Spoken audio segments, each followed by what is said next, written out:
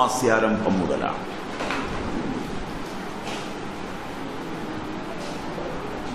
ചാതുർമാസ്യം വ്രതമാസമായാണ് ഭാരതീയ പൗരാണികർ ആഘോഷിച്ചു പോരുന്നത്.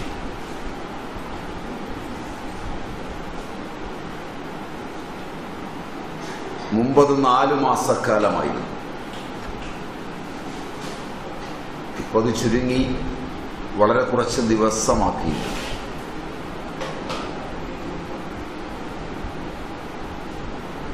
ഒരു വർഷത്തിൽ നാലു മാസം ബ്രഹ്മചാരികളും ഗൃഹസ്ഥന്മാരും വാനപ്രസ്ഥന്മാരും സന്യാസിമാരും അവരവർക്ക് വിധിച്ചിട്ടുള്ള കൽപ്പസൂത്ര നിർദ്ദേശപ്രകാരം വ്രതമാചരിച്ച് ധർമ്മസൂത്രങ്ങളുടെയും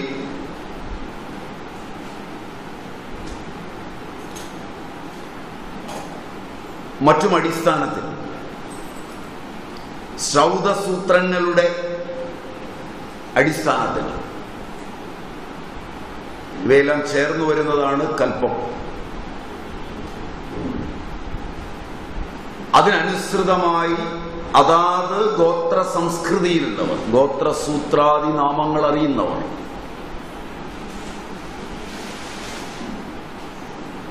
ഓരോ വർഷവും അറിഞ്ഞും അറിയാതെയും ഉപയോഗിച്ച വാക്കുകളുടെയും വിചാരങ്ങളുടെയും പ്രവൃത്തികളുടെയും അടിസ്ഥാനത്തിൽ രൂപപ്പെട്ടു നിൽക്കുന്ന തന്റെ ബുദ്ധിയെയും മനസ്സിനെയും പ്രാണനെയും അഗ്നിസ്തോമങ്ങളെയും ശുദ്ധീകരിച്ചെടുക്കുക എന്ന പഞ്ചവിധമായ പാപമോചനത്തിന് അഗ്നി സ്തോ- പ്രാണൻ മനസ്സ് ബുദ്ധി ഇവ അഞ്ചിന്റെയും ശൗദനിഷ്ഠി നിർദ്ദിഷ്ടമായ തലത്തിൽ ഈ അഞ്ചന്നവിശേഷങ്ങളെ ശുദ്ധീകരിക്കുകയും തദ്വാര വരാനിരിക്കുന്ന നാളുകളിൽ തന്റെ ലോകമെന്ന എണ്ണം വിശിഷ്ടമായി തീരുവാൻ. ഏതൊരു മനസ്സിന്റെ ആധാരത്തിൽ ഏതൊരു ബുദ്ധിയുടെ ആധാരത്തിൽ ഏതൊരു അഗ്നിസ്വമങ്ങളുടെ ആധാരത്തിലാണ് ഈ പ്രപഞ്ച ഘടന രൂപാന്തരപ്പെട്ടു നിൽക്കുന്നത്.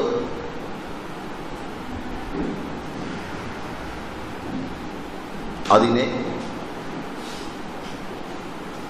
സാർവലൗകിക അന്നമെന്ന നിലയിൽ ശുദ്ധമാക്കി വയ്ക്കുവാൻ.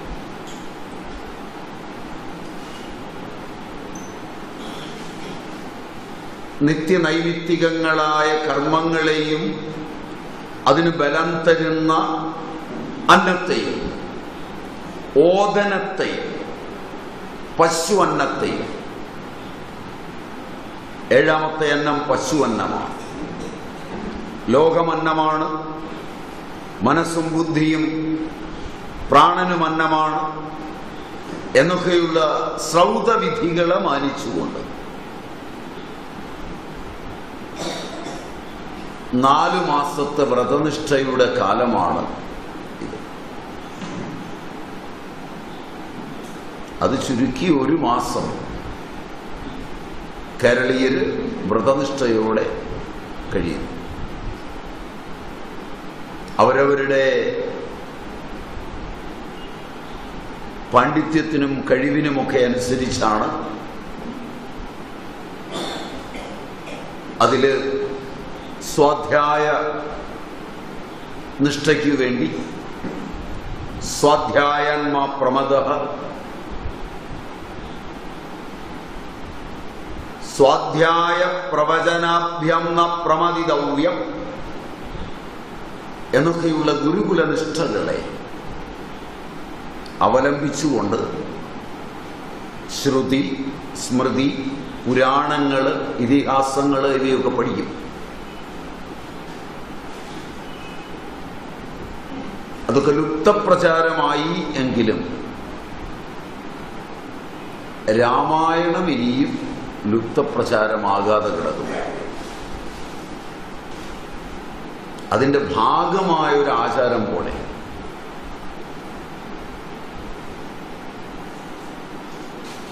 രാമായണം ആദി രാമായണമാണ് പ്രസിദ്ധം. നൂറ്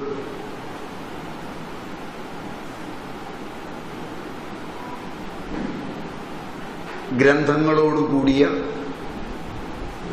കോടി ഗ്രന്ഥങ്ങളോടുകൂടിയ ബ്രഹ്മരാമായണം.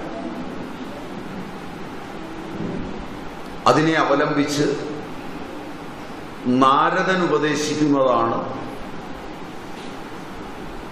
മൂലരാമായണം നൂറ് ശ്ലോകങ്ങൾ.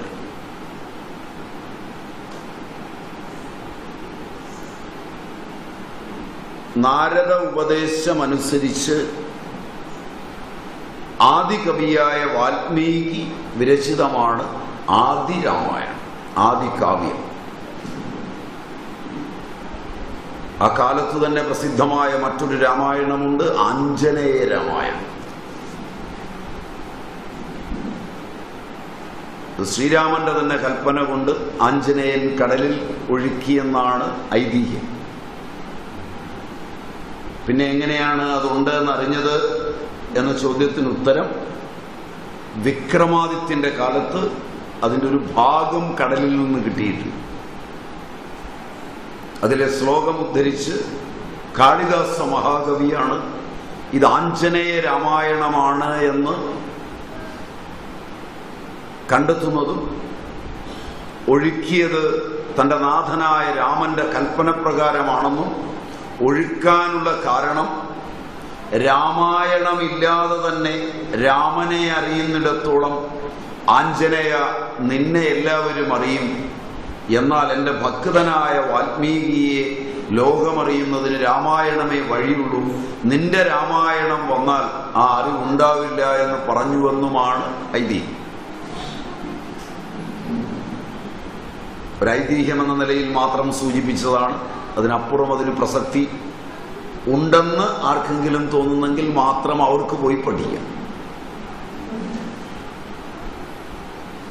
പിന്നീട് അങ്ങോട്ട് രാമായണങ്ങളുടെ ഘോഷയാത്രയാണ് ഉണ്ടായത് അധ്യാത്മരാമായണം മൂലം കഥയിൽ മാത്രമാണ് വാൽമീകിയെ അവലംബിക്കുന്നത്. ബാക്കിയെല്ലാം പുതുകുത്തനാണ് സംഭവങ്ങളും ചരിത്രവും വാൽമീകിയിൽ നിന്ന് ഉൾക്കൊള്ളുകയും ഭക്തിയെ മുൻനിർത്തി വളരെ പ്രസിദ്ധമായി വളരെ ലളിതമായി അധ്യാത്മരാമായണം മൂലം രചിക്കുകയുമാണ് ഉണ്ടായത്. കർത്താവിന്റെ കാര്യത്തിൽ ഭാരതീയ വൈജ്ഞാനിക ശാഖകൾ എന്നും ശങ്കാകുലമാണ്. വ്യാസന്റെയും ഭർതൃഹരിയുടെയും ഒക്കെ പേര് കേൾക്കുന്നുണ്ടെങ്കിലും തെലുങ്കു ദേശക്കാരനായ ഒരു മഹാപണ്ഡിതനാണ് അതിന്റെ കർത്താവ് എന്ന് കേട്ടുകേൾവിയുമുണ്ട്. ആ രാമായണമാണ് കർക്കിടക മാസത്തിൽ വായിക്കുന്നത്. ഞാൻ തുടങ്ങുന്നത് അതിനെ അവലംബിച്ചല്ല. അതുകൊണ്ട് നിങ്ങൾ എന്നോട് ക്ഷമിക്കണം. വാൽമീകി രാമായണമാകട്ടെ ആധുനിക ബുദ്ധിക്ക് പഠിക്കാവുന്നതിനപ്പുറവുമാണ്. എങ്കിലും അതിലെ ചില ഭാഗങ്ങളിൽ തുടങ്ങി അല്പദൂരം സഞ്ചരിക്കാമെന്നാണ് ഞാൻ വിചാരിക്കുന്നത്. എത്ര കണ്ടത് ശരിയായിരിക്കുമെന്ന് എനിക്ക് വലിയ ചിന്തയില്ല. അത് നിങ്ങൾ തീരുമാനിച്ചുകൊള്ളുക. അധ്യാത്മരാമായണമാണ് ചാതുർമാസ്യത്തിലൊക്കെ പൊതുവെ വായിക്കുന്ന രാമായണം മൂലം.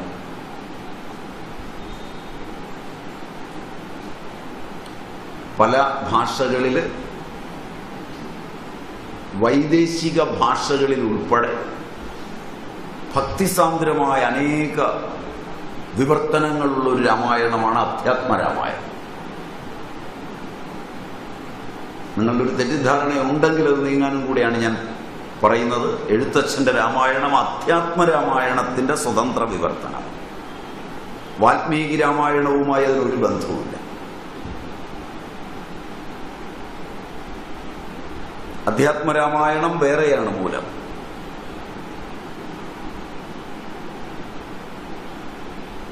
അത്യന്ത ഭക്തിസാന്ദ്രമാണ് എഴുത്തച്ഛന്റെ രാമായണം. കമ്പർ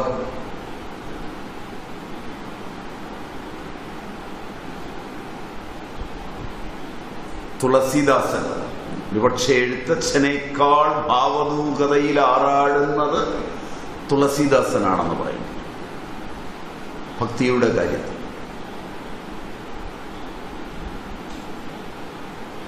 എഴുത്തച്ഛന്റെ ഭക്തിയിലൂടെ നിങ്ങൾ സഞ്ചരിക്കുമ്പോൾ ലിറിക്കൽ ഔട്ട്ബേഴ്സ്റ്റുകളുടെ പരമ്പരയാണ് ഉണ്ടാകുന്നത്.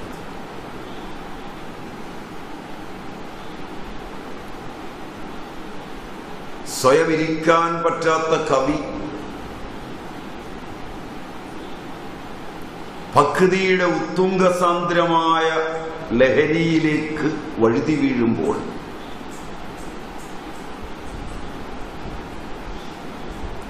എഴുതാൻ ഉപയോഗിക്കുന്ന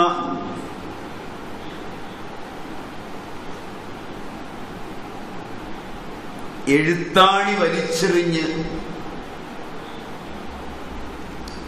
സ്വയം കാവ്യകലയിലേക്ക് വീഴുന്ന രംഗങ്ങൾ ഒട്ടേറെയാണ് രാമായണം.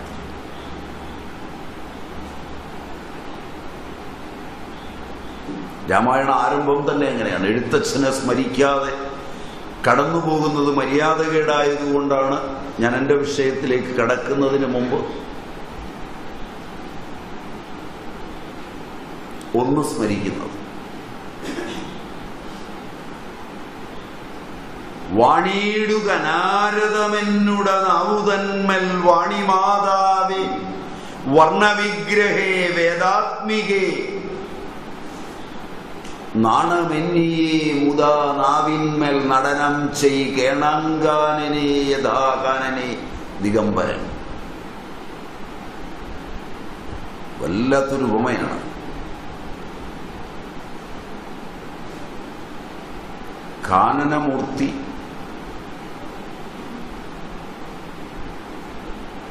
ദിഗംബരനായി നിൽക്കുമ്പോൾ നവരസമൊലിക്കുന്ന മിഴിയാൽ അവനെ ആസ്വദിക്കുന്ന കൊടുങ്ങല്ലൂരമ്മയുടെ ഒരു ചിത്രം. കുഞ്ഞിക്കുട്ടൻ തമ്പുരാന്റെ കാവ്യകലയിലുണ്ട് തമ്പുരാനെ നിങ്ങൾ കേട്ടിട്ടുണ്ടാവുമോ എന്നറിയില്ല അടങ്ങാതെ അന്തിക്കങ്ങ് അലർശര രിപുസ്വാമി നടനം നടത്തുമ്പോൾ സരസമത കൊണ്ടാടും അവനെ. കൊടുങ്ങല്ലൂരമ്മയെ കുശലമടിയങ്ങൾക്കു തരണേ. എന്നാണ് ആ വരികളെന്നാണ് എന്റെ ഓർമ്മ.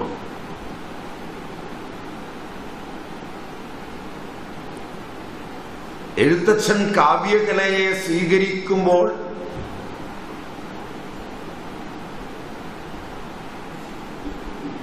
ആ ദിഗംബരമൂർത്തിയോട് തന്റെ നാവിൽ നൃത്തം ചെയ്യാൻ പറയുമ്പോൾ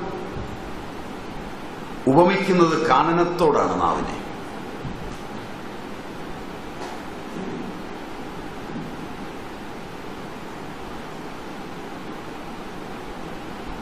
വൈദികാഭ്യസനം കുറഞ്ഞ തന്റെ നാവിന്മേൽ.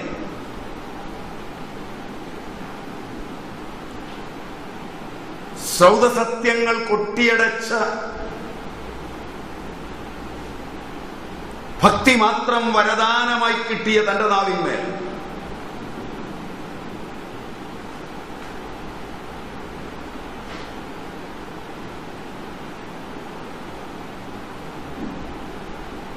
കാനനമൂർത്തി ദിഗംബരമൂർത്തി കാനനത്തിൽ നൃത്തം ചെയ്യുന്നത് പോലെ ഹേ ദേവി സരസ്വതി അമ്മേ നീ നൃത്തം ചെയ്യണമേ എന്ന്.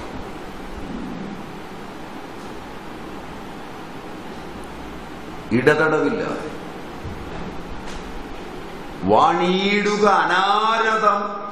എന്നുടെ നാവുതന്മൽ വാണിമാതാവേ വർണവിഗ്രഹേ വേദാത്മികേ.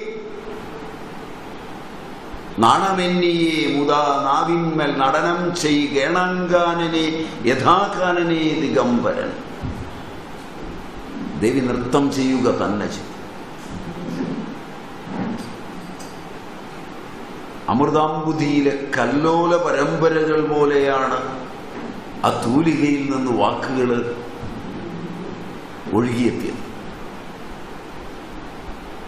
എവിടെയെങ്കിലും ഒരിടത്ത് ഭഗവൻ നാമം സ്മരിക്കുമ്പോഴൊക്കെ എന്തൊരുക്കായിരുന്നു ആ നാവിന്. നവരസങ്ങളും ആ കൈകൾ സർവതോഭദ്രമായി അവതരിപ്പിക്കുകയും ചെയ്തു.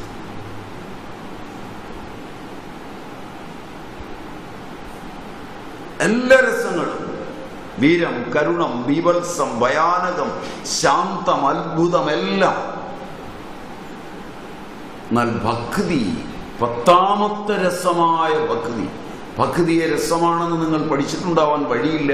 കാരണം നിങ്ങൾ മധുസൂദന സരസ്വതിയെ പഠിച്ചിട്ടുണ്ടാവില്ല. Shrimat സരസ്വതിയുടെ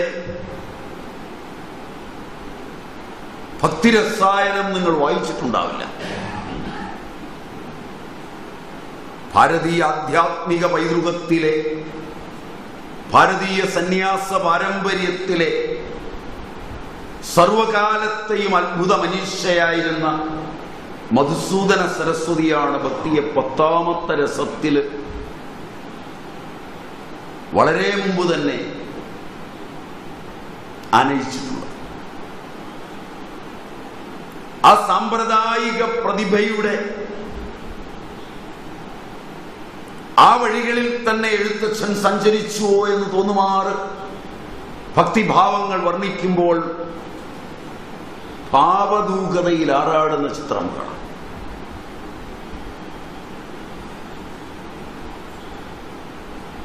Poetry is the spontaneous overflow of powerful feelings and emotions എന്നോ ഇമോഷൻസ് റിക്കളക്റ്റഡ് ഇൻ ട്രാങ്കുളിറ്റി എന്നോ.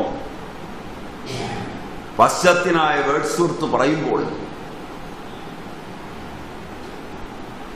എഴുത്തച്ഛന്റെ കവനങ്ങളിലെ ട്രാൻസ് ക്ഷുദ്ര സമാധി അനുവാചക ഹൃദയങ്ങൾക്ക് ഒരിക്കലും മറക്കാനാവില്ല. ലക്ഷ്മണോപദേശവും മറ്റും വരുമ്പോൾ ഒരു രാമനെന്ന് പറയാൻ ആധുനികൻ ഒരു ശബ്ദം ജപിക്കാൻ വിഷമിക്കുമ്പോൾ എഴുത്തച്ഛനിലൂടെ ഒന്ന് കടന്നുപോയി നോക്കണം. തത്ര കൗസല്യാവചനങ്ങൾ ഇങ്ങനെ ചിത്തതാപേന കേട്ടോരു സൗമിത്രിയും ശോകരോഷങ്ങൾ കലർന്നു നേത്രഗ്നിന ലോകങ്ങളെല്ലാം ദഹിച്ചു പോകും വണ്ണം. രാഘവൻ തന്നെ നോക്കി പറഞ്ഞിടിനാൻ ആകുലമെന്തിതു കാരണമുണ്ടാവാൻ?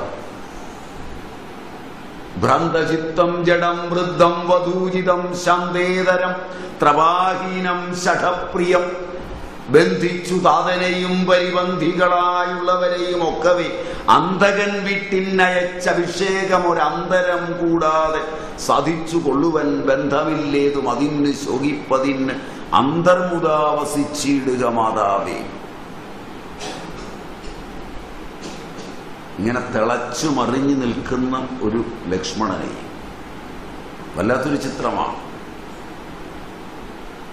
ശ്രീരാമൻ വനത്തിന് പോവുകയാണ്.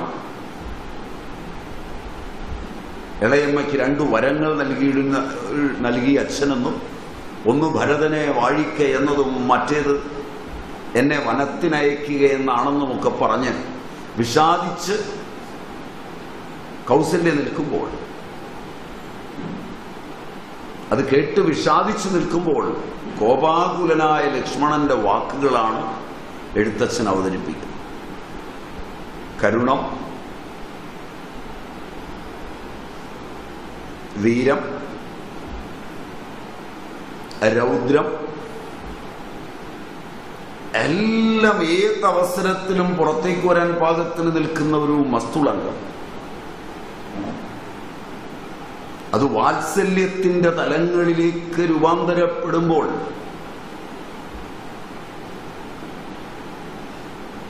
ആ ലക്ഷ്മണനെ കണ്ടിട്ട് യുദ്ധം പറഞ്ഞു ലോകത്രയം തദൃശാദഗ്ധമന്മാർ സൗമിത്രി നിൽക്കും നേരം. ഇത്രയും പ്രചണ്ഡമായി നിൽക്കുമ്പോൾ മന്ദഹാസം ചെയ്തു. മന്ദേതരം ചെന്നു നന്ദിച്ചു ഗാഠമായ ആലിംഗനം ചെയ്തു. വീടുകളിലൊക്കെ ഇന്ന് പിള്ളേർക്കൊക്കെ ഓട്ടിസം ഉള്ള കാലമാണ്. വളർത്താൻ അറിയാത്ത തള്ളമാരാണ് ഇതിന് കാരണം.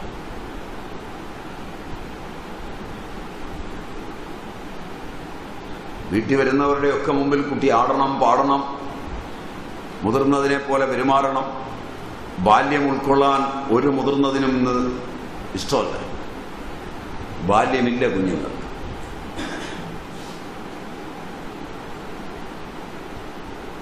കോപിക്കുന്ന കുഞ്ഞിനെ കെട്ടിപ്പിടിക്കുമ്പോൾ വാത്സല്യം നുകർന്ന് നൽകുമ്പോൾ ഒക്കെ താനറിയാതെ ഉരുകി ഒലിച്ചു പോകുന്ന കോപവും താപവും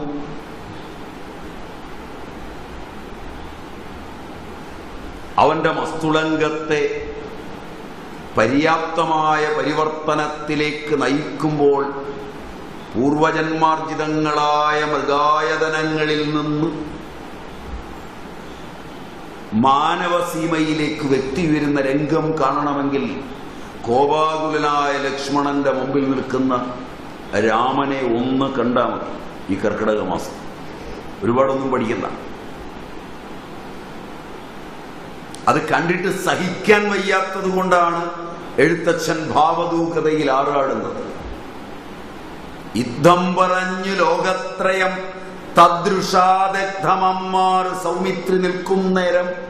മന്ദഹാസം ചെയ്തു മന്ദേതരം ചെന്നു നന്ദിച്ചു ഗാഠമായി ആലിംഗനം ചെയ്തു.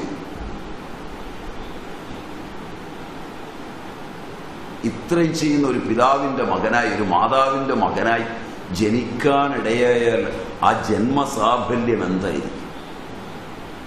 ഓടിക്കുകയും കല്ലെടുത്തെറിയുകയും തെറിവിളിക്കുകയും കുരുത്തം കെട്ടവനെ എന്ന് വിളിക്കുകയും ചെയ്ത് വളർത്തിക്കൊണ്ടുവന്ന് കുറെ പണവും സമ്പാദിച്ചു കൊടുത്ത് അത് കൺമുമ്പിൽ വെച്ച് മുടിച്ച് തേച്ച് കഴുകി തന്തയും തള്ളയും തെറിയും വിളിച്ച് ജീവിക്കുന്ന ദുർഭക സന്തതികളെ പെറ്റുകൂട്ടുന്ന ആധുനികതയ്ക്ക് മുമ്പിൽ എഴുത്തച്ഛൻ വരയ്ക്കുന്നത് സത്യത്തിന്റെ സമുജ്വല ചിത്രമാണ്. എനിക്ക് തുടരാം ഇനി ഞാൻ മര്യാദയ്ക്ക് ചോദിക്കണം. എനിക്ക് തുടരാമോ? നിങ്ങൾക്ക് പറയാം. നിങ്ങളുടേതാണ് സ്ഥലം. ഞാനിവിടെ അതിഥി മാത്രമോ തുടരാമോ?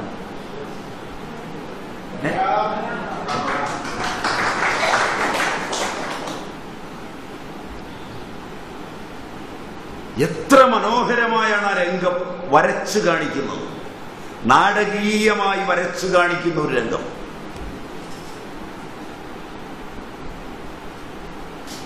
ആ ചെന്നൊരു ആലിംഗനം ചെയ്യുമ്പോൾ എല്ലാം അങ്ങ് പോവും. ഇത് കണ്ടിട്ട് എഴുത്തച്ഛൻ ഇരിക്കപ്പെടുകയില്ലാവും അദ്ദേഹം ആ തൂലിക വലിച്ചു വെച്ചു. ഇനി അദ്ദേഹത്തിന്റെ ഹൃദയം പിളർന്ന വാക്കുകളാണ് വരുന്നത്. സുന്ദരനിന്ദിരാമന്ദിരവത്സൻ ആനന്ദസ്വരൂപനിന്ദിന്ദിര വിഗ്രഹനിന്ദീവരക്ഷൻ ഇന്ദ്രാദി വൃന്ദാരക വൃന്ദ വന്ദ്യഘ്രിയുഗ്മാരവിന്ദൻ ഇന്ദുചൂടപ്രിയൻ വന്ദാരു വൃന്ദ മന്ദാരദാരൂപമൻ. ഒരു രാമൻ. എന്തു വിശേഷണം. എന്തു വിശേഷണ വിശേഷണം? കാവ്യങ്കന കമന്ന് കിടക്കുന്ന രംഗം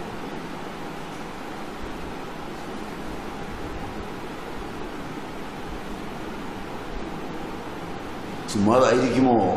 വള്ളത്തോട് പാടിയത് കാവ്യം സുഗേയം കഥ രാഘവീയം കഥാവ് തുഞ്ചത്തുളവായ ദിവ്യൻ എന്ന്. മറ്റത് ഞാൻ ചൊല്ലിയോണ്ടാണ് ഉപയോഗിക്കാത്തത്. ഭക്തിമയം പോരായിരിക്കുമെന്നാണ് എനിക്ക് തോന്നുന്നത്.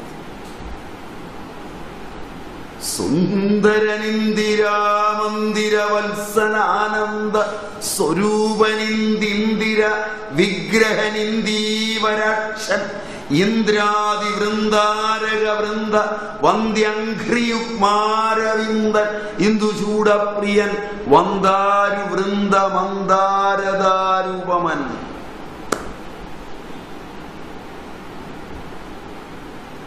ഒരു പ്രാവശ്യം വായിച്ചാൽ മലയാള ഭാഷയുടെ നാവിൽ എങ്ങനെ തത്തിക്കളിക്കുമെന്ന് ആലോചിച്ചു. നിങ്ങളുടെ പിള്ളേർക്ക് നേരാൻ വണ്ണം മലയാളം പറയാൻ അറിയാമോ മലയാളം കുരച്ച് കുരച്ചാണ് ഇപ്പൊ അരിയുന്നത്.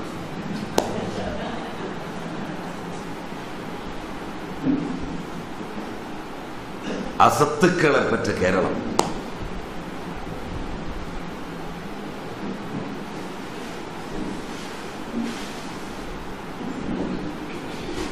ഭാഷ എങ്ങനെയാണ് കോമളമാകുന്നതെന്ന് അറിയണമെങ്കിൽ എഴുത്തച്ഛന്റെ രാമായണത്തിലൂടെ മാത്രം പോയാൽ മതി.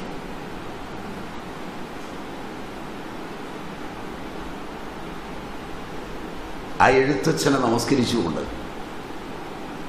ഇല്ലെങ്കിൽ നമ്മൾ ലക്ഷ്മണോപദേശത്തിലൂടെയൊക്കെ ബഹുദൂരം പോകും. അതൊക്കെ വേറെ ആളുകൾ നിങ്ങളോട് സംസാരിക്കാൻ വിഷയം വെച്ചിട്ടുള്ളതുമായിരിക്കും. ഞാൻ എന്റെ വിഷയത്തിലേക്ക് എനിക്ക് നിങ്ങളെ പരിചയപ്പെടുത്തി തരാനുള്ളത് ആഞ്ജനേയനെയാണ്.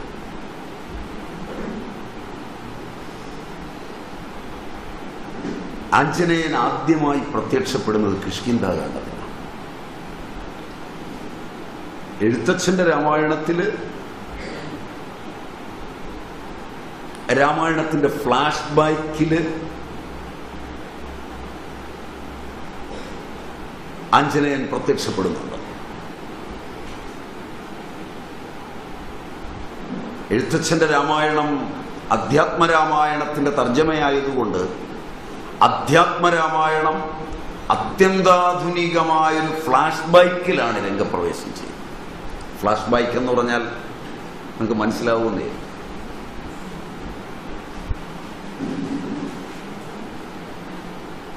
പരിണാമഗുപ്തി ഉണ്ടാകാൻ പാകത്തിന് ആദ്യം ഒരവതരണം രാമായണത്തിലുണ്ട്.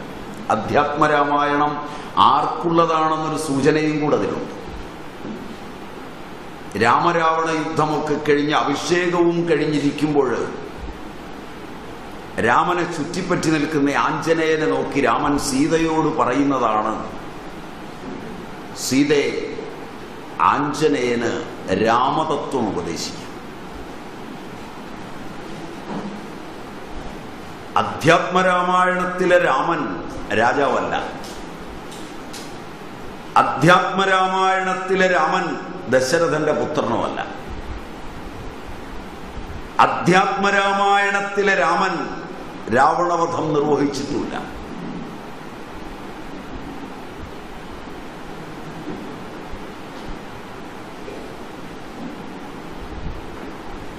അതുകൊണ്ട് അധ്യാത്മരാമായണം പഠിക്കുമ്പോൾ ശ്രദ്ധിക്കണം. ആഞ്ജനേയനോട് സീത ആദ്യമായി പറയുന്നത് തന്നെ രാമചരിതത്തിന്റെ നിഷേധമാണ്.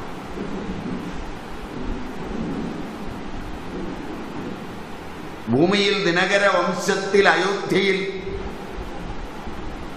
ദശരഥപുത്രനായി ജനിച്ചുവെന്നും എന്ന് തുടങ്ങി രാമാഭിഷേകം വരെയുള്ള കഥ പറഞ്ഞിട്ട് സീത ആഞ്ജനേയനോട് പറഞ്ഞത് ഇല്ല ആഞ്ജനേയ ഇല്ല ഇതൊന്നും രാമൻ ചെയ്തിട്ടില്ല.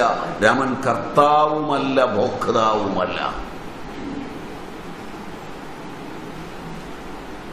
ഔട്ട്സെറ്റിൽ കൃതിയുടെ ആരംഭത്തിൽ വായനക്കാരന്റെ അന്തരംഗത്തെ പിടിച്ചു നിർത്തി. എങ്ങനെ രാമായണം വായിക്കണമെന്ന് ഓർമ്മിപ്പിച്ചുകൊണ്ട് സാക്ഷാൽ ശ്രീരാമചന്ദ്രൻ ജനകജയെ കൊണ്ട് പറയിപ്പിക്കുന്നതാണ് ഇത് വൈദേഹിയെ കൊണ്ട്.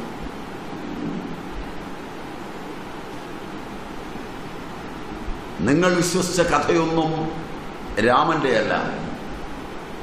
ഇല്ല ആഞ്ജനേയ ഇല്ല രാമൻ ഇതൊന്നും ചെയ്തിട്ടില്ല. രാമൻ കർത്താവുമല്ല ഭോക്താവുമല്ല കേൾ സത്താമാത്രണത്രേ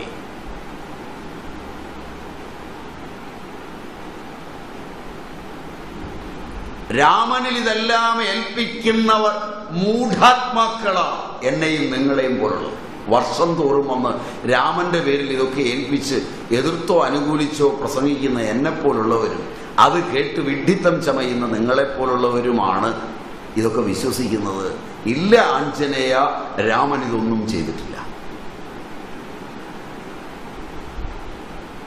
നിങ്ങൾ സമ്മതിക്കോ? രാമായണത്തിനൊരു പുനർവായന വേണ്ടി വരുമോ ഞാൻ ഇറങ്ങിപ്പോകുമ്പോൾ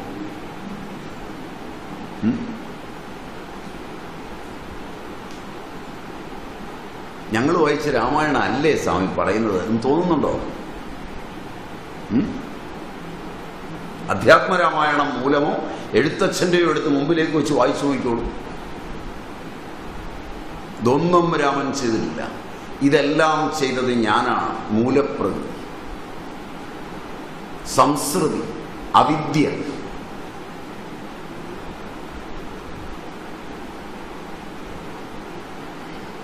ഇങ്ങനെ സീത പറഞ്ഞുകൊടുത്ത് കേൾക്കുമ്പോൾ അത്ഭുതസ്തബ്ധനായി നിൽക്കുന്ന രാമന് ആഞ്ജനേയന് രാമൻ രാമഹൃദയം ഉപദേശിച്ച് കഴിഞ്ഞാണ് രാമായണം നിങ്ങൾക്ക് വേണ്ടി കവി അവതരിപ്പിക്കുന്നത്. അതതിന്റെ സൂചനയാണ് വായിക്കാനുള്ള ലിംഗങ്ങളുടെ. എങ്ങനെ രാമായണം വായിച്ചാലാണ് പ്രയോജനം കിട്ടുക? അത് കഴിഞ്ഞാൽ ഒരു ചോദ്യമില്ല. ഭാര്യയെ വധിച്ചില്ലേ? ചോദ്യമില്ല. രാവണവധം നിർവഹിച്ചില്ലേ? ഇല്ല. ഇത് സീത എവിടുന്നാണ് പഠിച്ചത് എന്നും കൂടെ അറിയുന്നത് നല്ലതാണ്.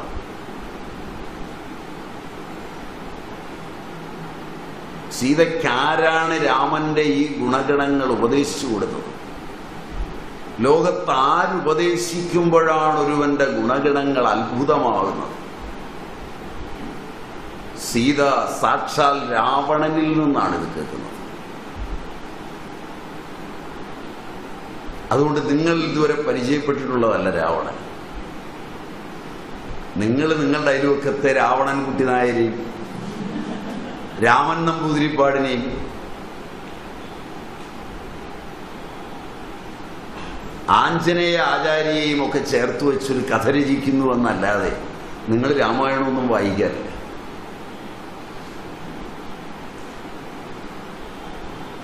രാമന്റെ ജീവചരിത്രത്തിന്റെ കാണ്ഡമായ ബാലകാന്ഡം അയോധ്യാകാന്ഡം കിഷ്കിന്ധകാന്ഡം യുദ്ധകാന്ഡം ഒക്കെ കൂടാതൊരു കാണ്ഡമുണ്ട്. അതിന് സുന്ദരകാന്ഡമെന്നാണ് അതിലാണ് കവിത്വം അതിന്റെ പൂർണതയിലെത്തുന്നത്. അവിടെ വെച്ച് ശിംശപാവൃക്ഷച്ചുവട്ടിൽ രാമരാമയതി ജപത്തോടുകൂടിയിരിക്കുന്ന സീതയെ സമീപിക്കുന്ന ഒരു രാവണനുണ്ട്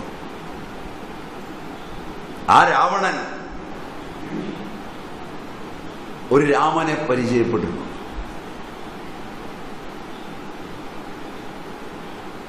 ശൃണു സുമുഖി തവ ചരണ നളിനദാസുസ്മ്യഹം ശോഭനശീലേ പ്രസീദ പ്രസീദമേ. ഇങ്ങനെയാണ് തുടങ്ങുന്നത്. പറഞ്ഞു പറഞ്ഞ്. തവ ഗുണസമുദയമലിവൊടു ഭുജിക്കിലും സുഭ്രുസുചിരമരികേ വസിക്കിലും നിത്യം നിത്യമുപഗൂഹനം ചെയ്യിലും ഹേ സീതയെ നിന്നെ നിത്യവും കെട്ടിപ്പിടിക്കുമെങ്കിലും ഉപഗൂഹനം ചെയ്കിലും. ആലിംഗനം ചെയ്തിരുന്നിരിക്കലും നിന്റെ അരികിൽ വസിക്കുമെങ്കിലും സുബ്രു സുചിരം അരികെ വസിക്കലും. താല്പര്യം നിന്നിലില്ല അവനേത്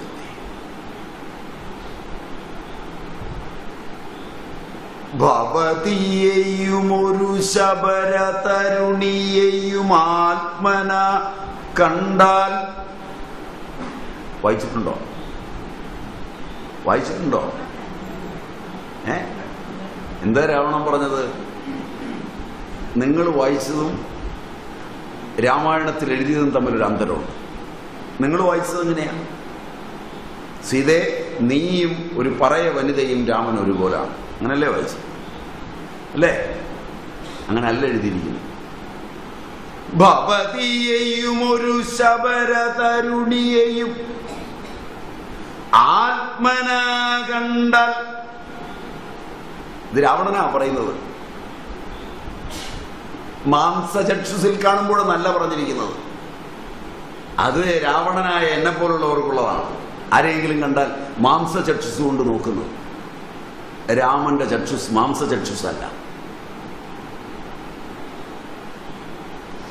ആത്മദൃഷ്ടിയിൽ എല്ലാം താൻ തന്നെയാണെന്ന് കാണുന്ന രാമൻ നിന്നെയോ ശബരിയെയോ വേറിട്ട് കണ്ടില്ല. അതുകൊണ്ടാണ് ഞാനിവിടെ ഇരുന്ന് നിന്നോടിത് പറയുമ്പോൾ നിന്നെ അന്വേഷിക്കുന്ന രാമൻ അവിടെ ശബരിയുടെ ഉച്ഛിഷ്ടം ഭക്ഷിക്കുന്നത്. നിസ്സാരനായ രാമനല്ല പറഞ്ഞു കൊടുക്കുന്നത്. ശോഭജനുമൊരവനി സുരവരനും അവനൊക്കും. ഗോക്കളും ഭേദമില്ലേതുമേ? പട്ടിയിറച്ചു തിന്നുന്ന ചണ്ടാലൻ സർവാദരണീയനായ ബ്രാഹ്മണൻ തലകീഴായി തപസ് ചെയ്ത ചണ്ടാലനെയും സർവാദരണീയനായ സാമവേദിയായ സർവശാസ്ത്ര വിശാരദനായ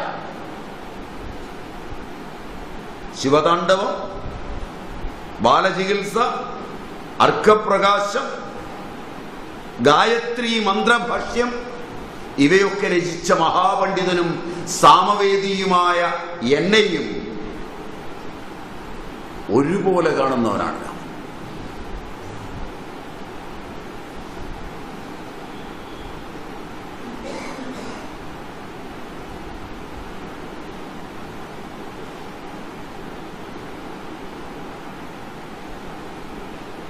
വായന മാറ്റി വായിക്കേണ്ടി വരുമോ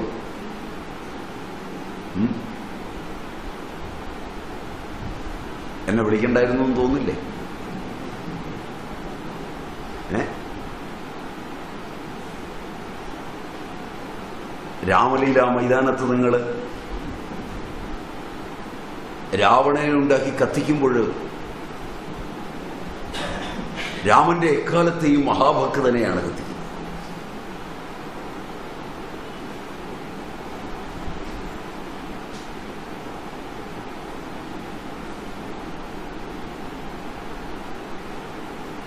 രാവണന്റെ ഭക്തിയുടെ ഒരു അംശം നമുക്ക് ലഭിച്ചിരുന്നെങ്കിൽ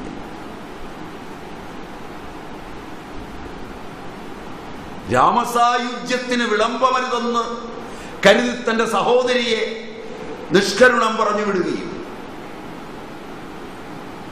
തന്റെ മാതുലനെ രാമപാദങ്ങളിൽ അമരാൻ വിടുകയും സ്വയം തന്റെ ദശശിരസ്സുകളും ആ പാദങ്ങളിൽ അർപ്പിച്ച് ശ്രേയോമാർഗത്തിൽ രാമാന്തികത്തിലേക്ക് പോവുകയും ചെയ്ത സമുജ്വല ഭക്തനായ രാവണൻ.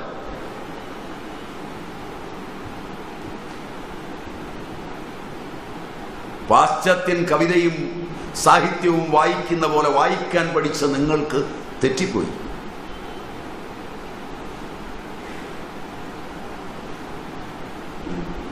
ഭാരതീയ സാഹിത്യത്തിന്റെയും ഭാരതീയ കലയുടെയും ഭാരതീയ വൈജ്ഞാനികതയുടെയും മർമ്മമറിയാൻ കഴിയണമെങ്കിൽ ഭാരതീയ പാരമ്പര്യത്തിൽ നിന്നുകൊണ്ട് സമുജ്വലമായി വായിക്കാനും പഠിക്കാനും ശിക്ഷാശാസ്ത്രം പഠിക്കണം.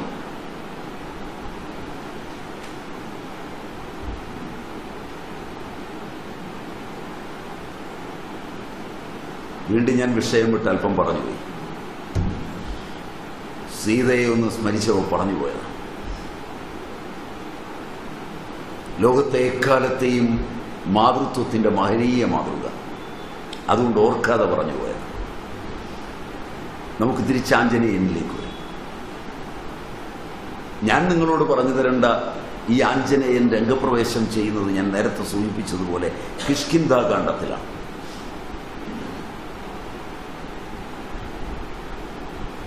സന്ദർഭം രാവണൻ സീതയെ കൊണ്ടുപോയി കഴിഞ്ഞു.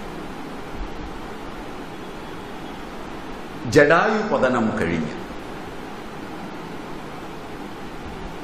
ശബരി വൃത്താന്തവും കഴിഞ്ഞു.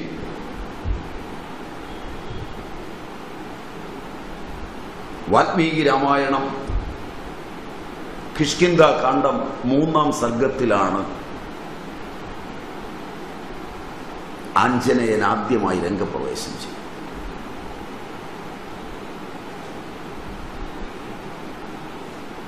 ആഞ്ജനേയൻ രാമലക്ഷ്മണന്മാർക്ക് തന്നെ സ്വയം പരിചയപ്പെടുത്തുന്നു.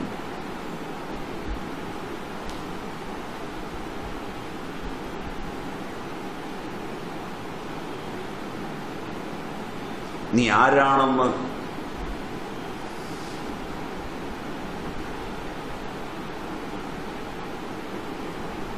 സംശയഗ്രസ്തരായി രാമലക്ഷ്മണന്മാർ നിന്ന് നോക്കുമ്പോൾ ചോദിക്കുമ്പോൾ ആണ് രാവണൻ ആഞ്ജനേയൻ രാമലക്ഷ്മണന്മാർക്ക് തന്നെ സ്വയം പരിചയപ്പെടുത്തുന്നത്. മനോഹരമായ ഒരു മുഹൂർത്തമാണ് അത് ഹനുമാൻ സ്വയം പരിചയപ്പെടുത്തി. ഞാൻ അഞ്ജനാനന്ദനാണ്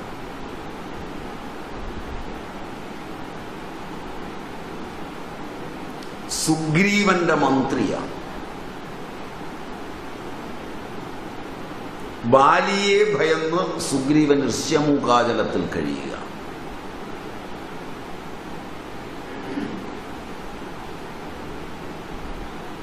അസാധാരണ ശക്തിയും വീര്യവുമെല്ലാം ഉള്ള നിങ്ങൾ ഈ വനത്തിൽ എന്തിനാണ് വന്നത്?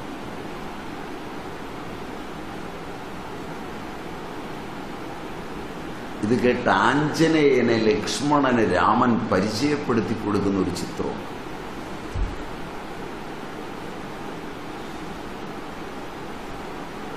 നിങ്ങൾ കേൾക്കുകയും പരിചയപ്പെടുകയും ചിത്രത്തിൽ കാണുകയും ചെയ്യുന്ന ആഞ്ജനേയനാണോ?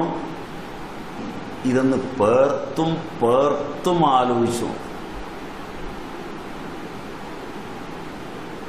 മൂലം ശരിയായി വായിച്ച് ശക്തമായി ഓർത്തു നോക്കണം ഏതച്ഛിത്വ വചനസ്തസ്യ രാമോ ലക്ഷ്മണമബ്രവീത്. പ്രഹൃഷ്ടവദന ശ്രീമാൻ ഭ്രാതരം പാർശ്വതസ്ഥിതം. തന്റെ പാർശ്വത്തിൽ സ്ഥിതി ചെയ്യുന്ന ലക്ഷ്മണനോട് ആഞ്ജനേയന്റെ വാക്കുകൾ കേട്ടിട്ട് ശ്രീരാമചന്ദ്രൻ പ്രസന്നവദനായി ഉത്സാഹത്തോടുകൂടി ഇപ്രകാരമുള്ള വാക്കിനെ പറഞ്ഞു. സജീവോയം കവീന്ദ്രസ്യ സുഗ്രീവസ്യ മഹാത്മന തമേവ കാംക്ഷമാണസ്യ മമാന്തിമിഹാഗത.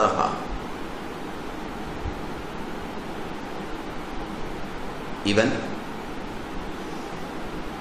മഹാനും വാനരരാജാവുമായ സുഗ്രീവന്റെ മന്ത്രിയാണ്. അദ്ദേഹത്തിന്റെ ഹിതത്തിനായി എന്റെ സവിധത്തിൽ വന്നു ചേർന്നതാണ് ഇതെല്ലാം നമുക്ക് ആവശ്യമുള്ള കാര്യം. എങ്കിലും തുടക്കം പറയേണ്ടതുകൊണ്ട് പറഞ്ഞതാണ്. തമഭ്യഭാഷത സൗമിത്രേ സുഗ്രീവ സജീവം കവിം. വാക്യജ്ഞം മധുരൈർ വാക്യൈ സ്നേഹയുക്തമരിന്തമ.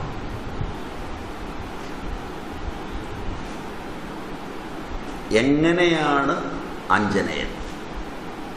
ശത്രുനാശകനായ സുഗ്രീവ സജീവൻ ഏതു ശത്രുവിനെയും ക്ഷണനേരം കൊണ്ട് ഇല്ലാതാക്കാൻ കഴിയുന്ന ഈ സുഗ്രീവ സജീവൻ.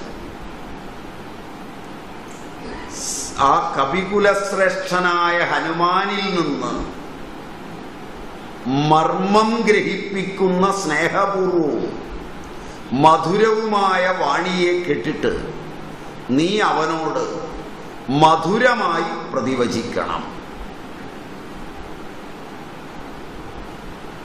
അവൻ പറഞ്ഞു പറഞ്ഞതൊക്കെ നീ കേട്ടില്ലേ?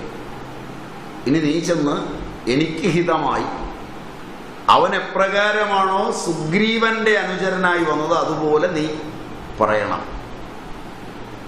എന്നിട്ട് അവനെ പരിചയപ്പെടുത്തുന്ന ഒരു രംഗമുണ്ട്. നാൻ ഋഗ്വേദ വിനീതസ്യ ന സാമവേദ വിദുഷ ശക്യമേവം വിഭാഷിതും.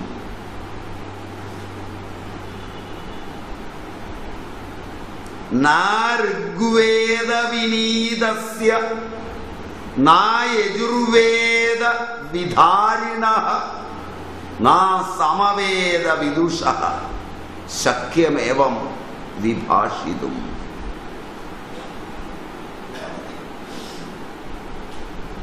രാമൻ ആഞ്ജനേയന്റെ വാക്കുകളെ കേട്ടിട്ട് സുഗ്രീവന് വേണ്ടി പറഞ്ഞ മർമ്മഗ്രാഹിയായ വാക്കുകളെ കേട്ടിട്ട് ആ രാമൻ കൊടുക്കുന്ന ഒരു സർട്ടിഫിക്കറ്റായിരുന്നു നാ ഋഗ്വേദ വിനീതസ്യ.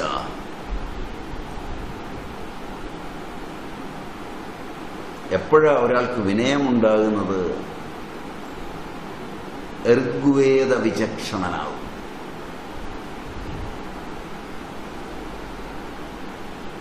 വൈദികി ശ്രുതി സ്മരിച്ചാൽ വിനയം വരും. എന്താ നമുക്കിന്ന് ആധുനിക കാലത്ത് വിനയമില്ലാത്തത്? നമ്മൾ വേദമല്ലല്ലോ പഠിക്കുന്നത്. ഒരു ജന്മം മുഴുവൻ വൈദേശിക ഭാഷയുടെ സ്പെല്ലിംഗ് പഠിക്കാൻ ചെലവാക്കുകയല്ലേ? വേറെ ഒന്നും കയ്യിലില്ലല്ലോ.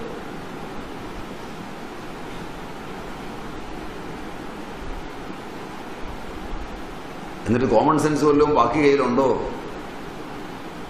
ഏതെങ്കിലും പ്രതിസന്ധിയിൽ ജീവിക്കാൻ പറ്റുമോ? ആത്മഹത്യയല്ലാതെ. പഠിത്തം കഴിഞ്ഞൊരു എട്ടാം ക്ലാസ്സിൽ എത്തുമ്പോഴേക്ക് ഏതാണ്ട് mania depression maniac depression bipolar schizophrenia paranoia paranoid schizophrenia പോരെ പൂരം. ഗുളികയടിക്കാതെ ഒരു രാത്രി ഉറങ്ങാൻ പറ്റുമോ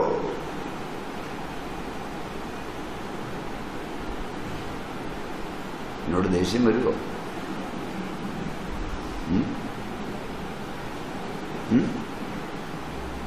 എന്നോട് ദേഷ്യം വരുമോ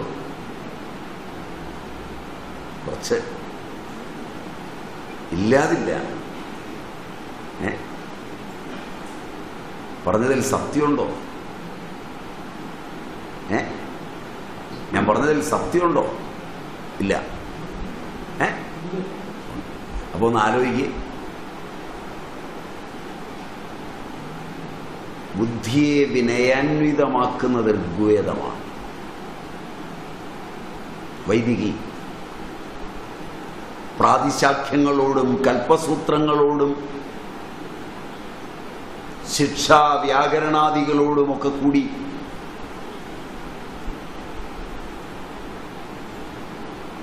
വൈദികിയുടെ അകപ്പൊരുൾ അറിയുന്നതിനൊന്ന് ശ്രമിച്ചാൽ രാമകഥയെ കൊണ്ടിരുന്നതും വൈദികി തന്നെയാണ്. ഋഗ്വേദത്തിലെ ഒരു സൂക്തം ഗുരുവർദ്ധത്തിനായി വനത്തിലേക്ക് പോയ സൂക്തമാണ്. അതിൽ നിന്നാണ് രാമായണം ഋഷികവി രചിക്കുന്നത്. അഹല്യ സൂക്തം മറ്റൊരു സൂക്തമാണ്. ഋഗ്വേദത്തിലെ വ്യത്യസ്ത സൂക്തങ്ങളുടെ സമീചീന സമ്മേളന സ്ഥാനമാണ്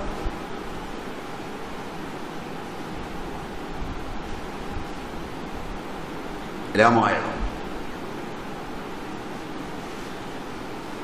വാത്മീകിയത് രചിക്കുമ്പോൾ രാമന്റെ യാത്രയല്ല.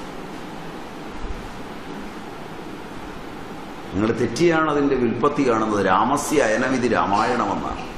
ഇല്ലയോ? അങ്ങനെയല്ല രാമായാഹ അയനമിതി രാമായണം. രാമയുടെ അയനമാണ് രാമായണം. രാമയുടെ അയനം തീരുമ്പോൾ രാമായണവും തീരും. ബാക്കി വാചനക്കാരന്റെ വിചാരധാരയിൽ മാത്രമാണ് നിൽക്കുന്നത്. വിചാരധാരാ പ്രവാഹത്തെ അത്യന്താധുനിക കവികൾ ഉപയോഗിക്കുന്നതിന് മുമ്പ് അതിമനോഹരമായ ശീലുകളിൽ അവതരിപ്പിച്ച് മനോഹരമായി വിജയിച്ചയാളാണ് വാൽമീകി. ബോധധാരയ്ക്ക് അത്ഭുതകരങ്ങളായ കഴിവുകൾ പരിണാമഗുപ്തിയിലുണ്ടെന്ന് കാവ്യ സമീപനത്തിന്റെ ആദ്യാദർശങ്ങളിൽ നിന്ന് ഉൾക്കൊണ്ട ആദികവി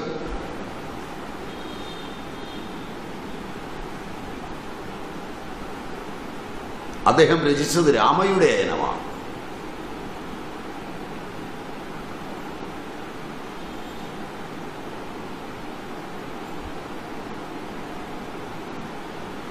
ആണെന്നുള്ളതിന് തെളിവ്. യുദ്ധം കഴിഞ്ഞ് തിരിച്ചെത്തുമ്പോൾ രാമൻ സീതയോട് പറയുന്നൊരു പദമുണ്ട്. സീതയെ രാവണവധം കഴിഞ്ഞു. എന്റെ കർത്തവ്യം ഞാൻ നിർവഹിച്ചു. എട്ട് ദിക്കുകളിൽ എങ്ങോട്ട് വേണമെങ്കിൽ നിങ്ങൾ നിനക്കിനി പോവാം. നേത്രരോഗിക്ക് ദീപമെന്ന പോലെ നീ എനിക്ക് അബദ്ധിയാം അധ്യാത്മരാമായണത്തിലില്ല തെറ്റിദ്ധരിക്കരുത് വാൽമീകി രാമായണം വാൽമീകി രാമായണത്തിലെ രാമൻ സീതയോട് നേരെ പറയുന്നതാണ് നേത്രരോഗിക്ക് ദീപമെന്ന പോലെ നീ എനിക്ക് അബദ്ധിയ. പുരുഷ സത്യസന്ധതയുടെ അവസാനത്തെ വാക്ക്. ഭാരതീയ മൗലികതയുടെ അത്യന്തഭാസുരമായ വാക്ക്.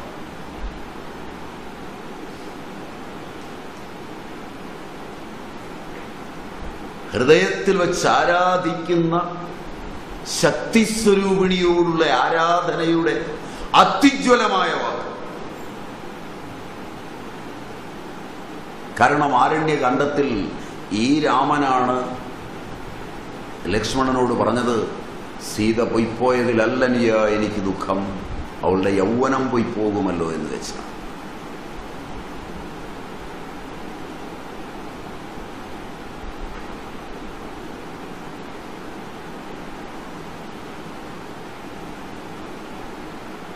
ആ രാമൻ ഇന്ന് യുദ്ധാനന്തരം പറയുമ്പോൾ സത്യസന്ധമായി സീതയോട് പറഞ്ഞത് നേത്രരോഗിക്ക് ദീപമെന്ന പോലെ നീ എനിക്ക് അബദ്ധിയാണ്.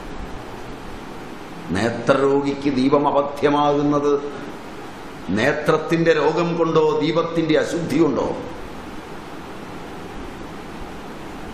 ചോദ്യം മനസ്സിലായില്ല. നേത്രരോഗിക്ക് ദീപം അബദ്ധ്യമാകുന്നത് നേത്രത്തിന്റെ രോഗം കൊണ്ടോ ദീപത്തിന്റെ അശുദ്ധി കൊണ്ടോ? നേത്രത്തിന്റെ രോഗം കൊണ്ടാണ് ദീപം ഒരിക്കലും അശുദ്ധമാവില്ല. പതിവ്രതാധർമ്മത്തിൽ ഉറച്ചു നിന്ന എന്റെ ധർമ്മപത്നി ഒരിക്കലും വഴിതെറ്റിയില്ലെന്നും അവൾ സർവദാ ശുദ്ധയാണെന്നും ലോകത്തിനു മുമ്പിൽ ഉറക്കെ പറഞ്ഞ് തന്റെ മനസ്സിന് കളങ്കമുണ്ടായത് മാത്രമേ പശ്ചാത്താപ വിവശനായി പറയുകയും അവളിരിക്കുന്നിടത്തിരിക്കുവാൻ രാജ്യലക്ഷ്മിയെ കാക്കുന്ന എനിക്കാവില്ലെന്നറിഞ്ഞ് അവളെ ഭാരതീയ ആധ്യാത്മികതയുടെ ഈറ്റില്ലമായ വാൽമീകി ആശ്രമത്തിൽ കുടിയിരുത്തി ആ സർവാംഗീണവും സർവാദരണീയവുമായ രംഗവേദിയിലേക്ക് ഉയരുവാൻ കഴിയാത്തതിൽ പരിതപിച്ച് കാലമെത്തുമ്പോൾ നാം തമ്മിൽ കണ്ടുകൊള്ളാമെന്ന വ്യവസ്ഥയിൽ പിരിയുന്നൊരു രാമന്റെ ഗദ്ഗത സമന്വിതമായ ചിത്രം വാൽമീകി വരച്ചതുപോലെ ഒരു കവിക്കും വരയ്ക്കാനാവില്ല.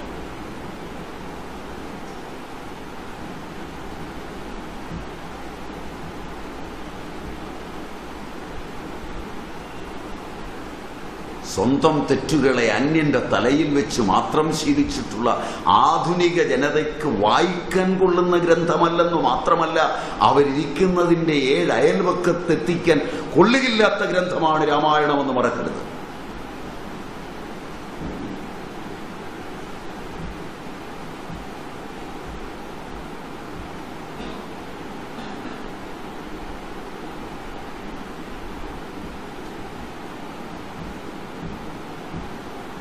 ആദ്യം തുടങ്ങിയതായിരുന്നു നല്ലതല്ലേ?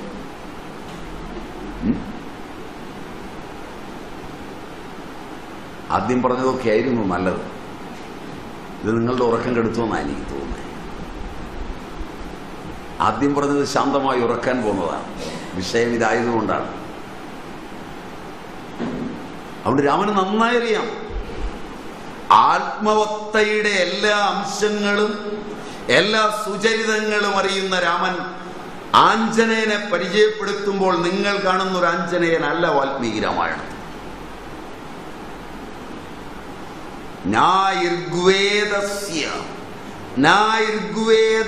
വിനീതസ്യ. ഋഗ്വേദം കൊണ്ട് വിനീതനും.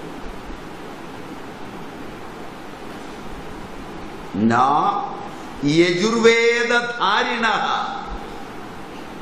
യജുർവേദം യജ്ഞകർമ്മങ്ങളുടെ വിധാനങ്ങളുള്ളതാണ്.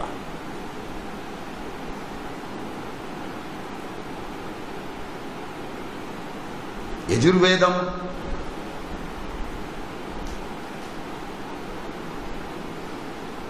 ധാരണയെ മാറ്റിമറിക്കുന്നതാണ്.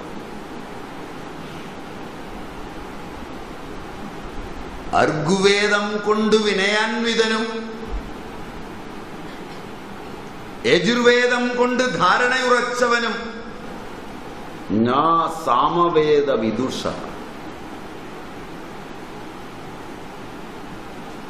സാമവേദ പാരംഗതൻ.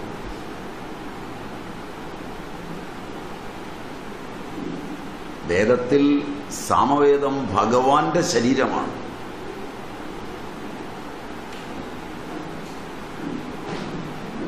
സാമവേദം ഉത്തുംഗ പ്രഭാവപൂർണവുമാണ്